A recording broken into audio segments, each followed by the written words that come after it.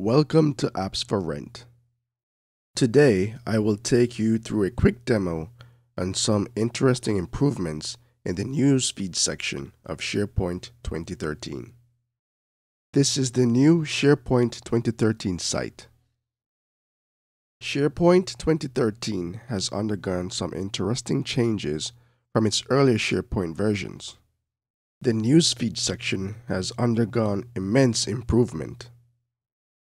There is only one complete section dedicated to Newsfeed. The new Newsfeed section has a strong microblogging component, complete with features such as status updates, hashtags, at mentions, follow features, and etc. They can like it or reply to your updates if they wish.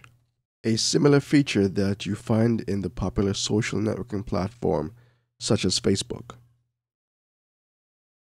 Then there are these wonderful features added such as follow feature, which you can follow people, documents, sites, and tags of your interest. There is also a trending tags feature which offers you a view of the trending topics in your organization. The Everyone tab gives you a view of all the updates from everyone in your organization, even if you're not following them a feature similar to what you find in Twitter.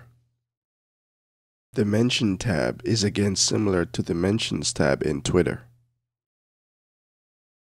If someone wants to mention something particularly to you, they can use the at character followed by your name. The newsfeed timeline gives you a real-time view of what the people you are following are talking about. For more information, log on to apps4rent.com. Thank you for watching.